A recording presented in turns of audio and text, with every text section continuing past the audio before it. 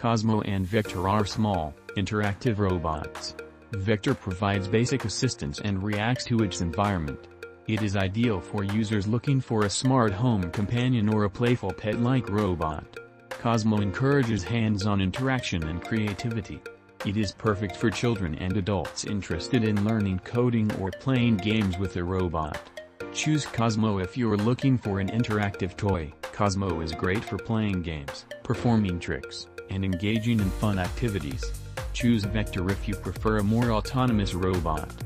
Vector operates independently, roaming and reacting to its environment without constant input.